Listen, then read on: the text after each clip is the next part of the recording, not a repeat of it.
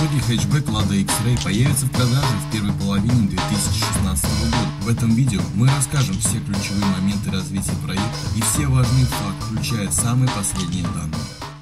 Платформа Lada X-Ray если для первенца нового фирменного стиля Lada седана вес на автовазе была разработана оригинальная платформа, то в случае с X-Ray пошли по пути заимствования тележки. С российским автомобилем поделился партнерский Renault Sandero. Долгое время ходили слухи, что и кузов перекочует с француза, и все ограничится точечным изменением конструкции и бэдж инженерингом. Однако московский автосалон 2014 года все расставил по местам, а в феврале следующего 2015 года Весту и X-Ray высоко оценил премьер-министр России Дмитрий Медведев.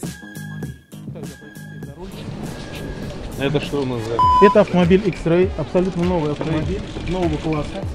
Назвав их очень добротными автомобилями. Дизайн Lada X-Ray.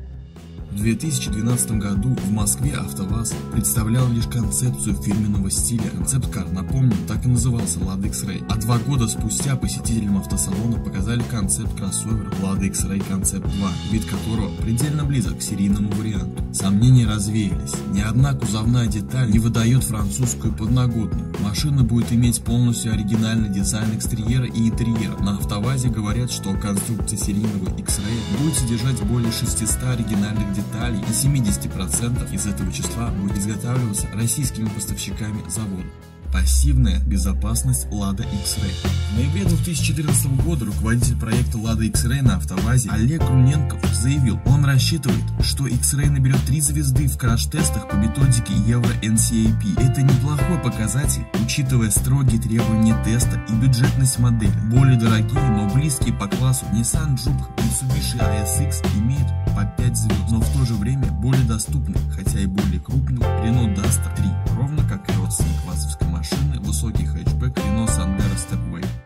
Двигатели Lada X-Ray Ранее звучали предположения, что X-Ray должен получить мотор Nissan мощностью 114 лошадиных сил. Точно такой же значится и в гамме двигателя для Vesta. И позднее эта информация подтвердилась. Мотор с маркировкой H4 1.6 литра 114 лошадиных сил такой же сейчас ставится на Nissan Sentra и появится на Lada Vesta. Второй мотор также 1.6-литровый, базовский, имеющий индекс 21127, известный по другим моделям Lada. Помимо этого, модель должна получить двигатель объемом 1.8 литра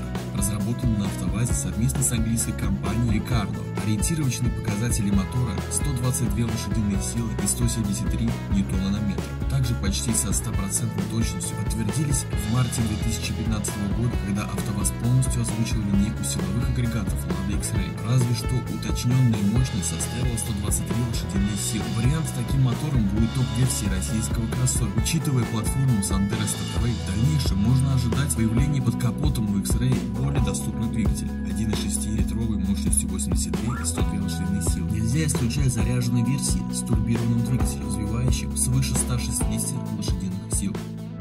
Трансмиссия Lada X-Ray для топ-версии с мотором 1.8 X-Ray предлагается автоматизированная механическая трансмиссия. Российская разработка. Базой послужила стандартная вазовская механика, а для работы над управляющей электроникой была привлечена германская фирма ZF. Вполне возможно, что в варианте для кроссовера коробка АМТ получит спорт-режим. А вот чисто механических российских коробок на X-Ray решили не ставить, предпочтя им, как и для Lada Vesta, французские, они лучшего виброакустическим свойствам и четкости переключения, поэтому с обоими 1.6-литровыми двигателем и базовским и ниссановским в паре будут идти МКПП Renault. Французские моторы и коробки будут производиться на автовазе в Тольятти с 15 марта 2015 года.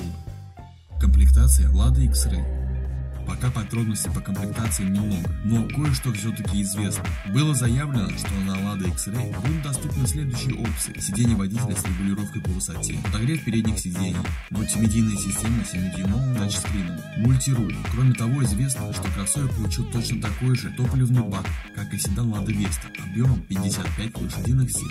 Развитие темы Lada X-Ray Пробный шар АвтоВАЗа в классе кроссоверов, хотя определенные шаги были сделаны еще на этапе подготовки кросс-линии, модификации Калина Кросс, Ларгус Кросс, но за первым X-Ray последует полноприводный и более крупный X-Ray Cross, а также совместная взрослый кроссовер C-класса. Первый будет иметь платформу Renault Duster, даже B0, но в более развитом исполнении. И по словам Бу Андерсона, 4 версии Предположительно, речь идет о двух различных колесных формулах 4 на 4, 4 на 2 и о двух типах трансмиссий механической и каком-либо варианте автоматизированной, автоматической АКПП или робот. Кроссовер C-класса также получит тележку Renault Duster, но в удлиненной и расширенной версии. Сейчас для крупного кроссовера ставят два варианта двигателя, и одним из них, скорее всего, будет мотор Renault. Сборка Lada X-Ray. Пилотную партию высоких хэтчей начнут собирать уже в первом квартале 2015 года, а серийное производство Lada X-Ray начнется в Тольятти в декабре 2015 года. Сборка автомобиля на автовазе будет вестись на линии B0, той самой, где уже собирают Lada Largus, Nissan Almera, Renault Logan и Renault Sandero. Однако под новую модель производство значительно модернизировали. Так, новогодних каникул 2015 года шло изготовление оснастки и монтаж нового сварочного оборудования. Обновлению подверглись почти все сварочные посты. 13 марта в Тольятти собрались сварить первый кузов Lada X-Ray, однако по факту этот график оказался даже немного опережен. Уже 11 марта сварили каркас, а 12 марта весь кузов. После первого года производства кроссовера уровень локализации для Lada X-Ray, ровно как и для Vesta, должен составлять 75%. Цена Lada X-Ray Заявленная в конце октября 2014 года базовая цена на высокий хэтчбэк Lada X-Ray составляла 430 тысяч рублей. Тогда же прозвучала цифра по полноприводному X-Ray Cross 500 тысяч рублей. Однако с тех пор многое изменилось. В конце 2014 года Бу Андерсон заявил, что цена седана Веста будет на заявленном уровне 400 тысяч рублей. Только в том случае, если курс евро откатится к 42 рублям. Пока к этому предпосылок немного, и наверняка цены скорректируются для X-Ray. Финальных цифр остается только ожидать. Купить Lada X-Ray. В начале февраля 2014 года, учитывая сроки запуска серийного производства, конец 2015 года, возможно, первые машины начнут выгружать дилерам в январе-феврале 2016 года, а купить Lada X-Ray можно будет начиная с марта-апреля. На встрече с премьер-министром России Дмитрием Медведевым директор проекта Олег Груненков заявил, что купить кроссовер можно будет в начале 2015 года, несмотря на то, что цена Lada X-Ray пока неизвестна, модель наверняка ожидает ажиотажность.